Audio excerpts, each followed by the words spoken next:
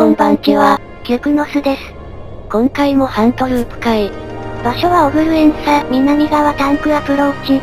このエリアに40%の確率で出現する、チョコボリーダー。何かの代わりに出現するタイプではないので、その場で何度か AC を重ねて出現位置に向かえばいるでしょう。デハ出現までカット。場所は南の出っ張りのあたり。一部のチョコボタイプのように非アクティブ状態でうろついています。戦闘面ではやはり、チョコメット、が強力。と入っても範囲2000前後のダメージです。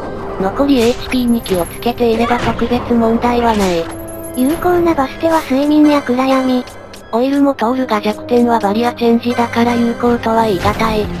睡眠ではめるなら無属性魔法を使用するのがいいでしょう。そしてこいつはカウンター持ち。銃や魔法がメインの弱乳なら問題ないでしょう。遠距離攻撃でもハンディボムはカウンターを無視できない。相手が瞬間移動してカウンターをする様を見ることができます。最後に、盗むの低確率枠にハイエーテルを持つ。いずれ買えるようになります。こいつで集める必要はないでしょう。撃破、次兵行きましょう。場所はナムエンサ、交差のたどり着く地。40%の確率で出現する、イクター。先ほどのように AC を繰り返してから索敵。出現位置は西側に複数箇所。相手は戦闘態勢でない時は透明。トリックスター戦の時のように、コンフリを反射させながら歩くのは有効な手段ですが、そこまでするほど強い相手ではない。一旦出現までカット。一番の目玉は盗むの低確率に持つ先人のアシュリング。ブルヌソルの材料の霊帝の魂の材料。他で手に入れるには出現率256分の1の赤チョコボレベル99や、ナグレウス出現のワイヤードの心得ドロップ5%。よほどリアルラックに自信のある方でない限りは、こいつで必要数を手に入れておくのが無難でしょう。周りに雑魚が集まっても特に痛いことはない。序盤のエリアですからね、気になるなら HP 差を利用してガンビットを組めば処理しやすい技です。必要数は4から6個。クランランクがパレスガーディアン、デモンブランから霊帝の魂を1つもらえます。これ以前に欲しい人は6、以降でいい人は4だな。そういうことです。そして盗んだ後に 2AC する方向ですが、遠サ砂漠はマップが広い。また出現位置も西側なので、セルテニアン洞窟側へ行く方が早いと思います。盗んだので倍速でそのルートを。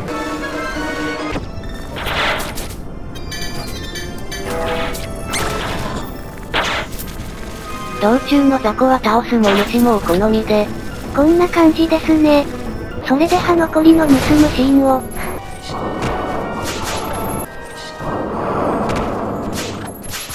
オッケー戦闘に移りましょう。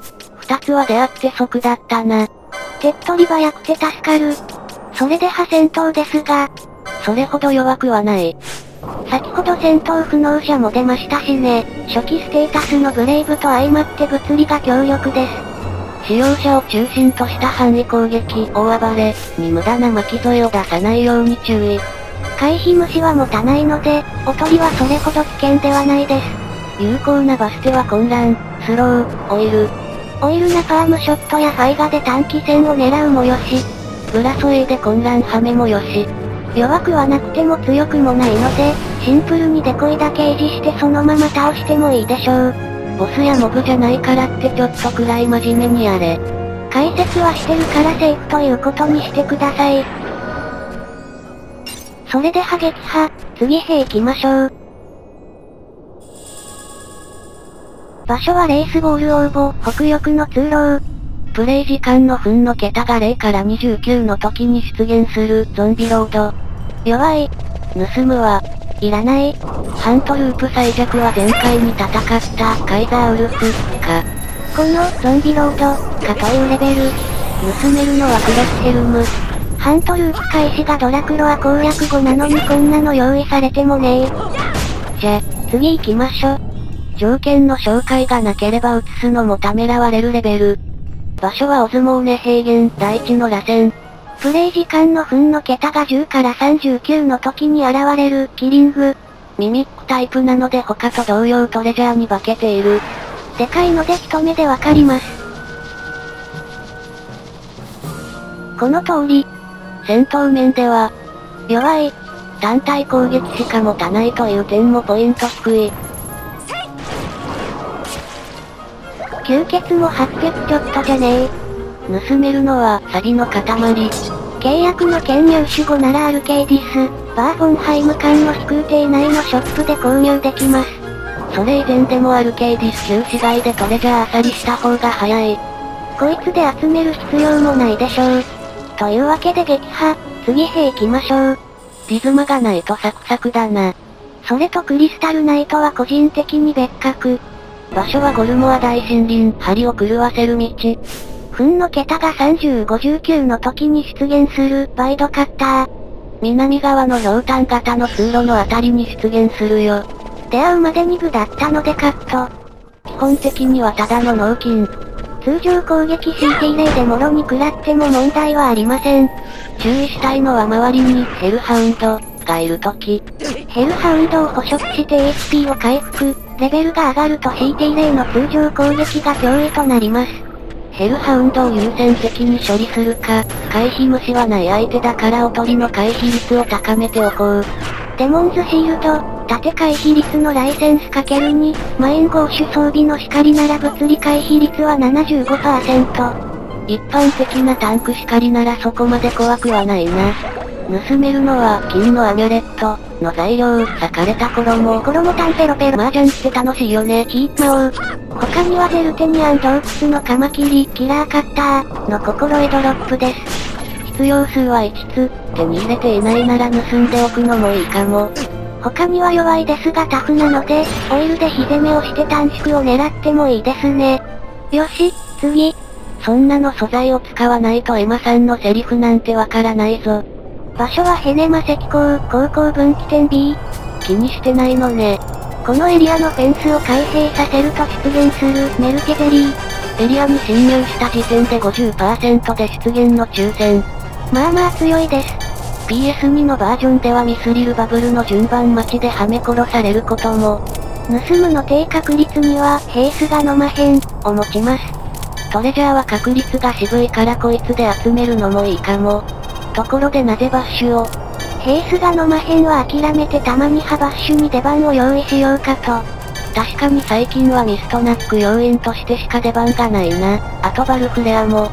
さて戦闘の話ですが、プリン系でデポの10、計算弱耐性。さらには HP も高めです。バッシュを起用ということは銭投げはしないんだな。幸い弱点もあり、オイルも有効なので、デルタアタックで速攻します。サンダガが痛い相手だからバッシュは、ダイヤの腕輪、で無効か。豊富なバステ行動を持ちますが、危険なのは混乱くらいです。アクセサリで無効化するか、おとりは周りを巻き込まないよう位置取りに気をつけよう。初期ステータスが豪華なので苦戦しそうなら剥がしましょう。いつだかケチってたデスペルの魔片を使ったな。変えることを思い出したか。はい。もう少しやりましょう。次へ。場所はパラミナ大峡谷、カーリダイン代表が、エリア内のモンスターを全滅させると現れるアンクボルダー。弱い。ただし、同条件でレアモンスター、アンキハガー、も同時に出現。どちらも物理型、二段すると力押しされることも、あるかやっぱないですね。ここまで進めてきたメンバーなら問題ないでしょう。盗めるのは、女神の肉。第3位の軽装備、ローレルクラウン、ラバーコンシャスの材料です。タイのラバーコンシャスは雷向こうが優秀。落とすモンスターは少なくないので無理に盗む必要はないでしょう。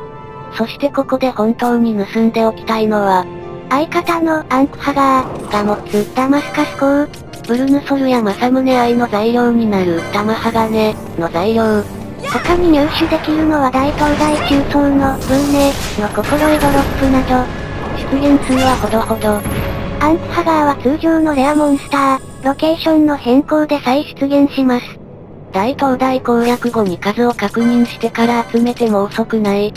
玉鋼は召喚獣を8体取得後にモンブランからもらえます。入手したいタイミングと必要数を把握しよう。それでは今回はこの戦闘まででおしまいです。いつも以上にあっさりした内容だったな。とはいえ、先人のアシュリング、や、ダマスカス港の紹介もありました。確かに、やり込むなら使う使わない抜きにしても重要だな。そもそも攻略動画だし紹介しないとね。それもそうだな。次回もマップ紹介のないハントループモンスター回です。それでは、ご視聴ありがとうございました。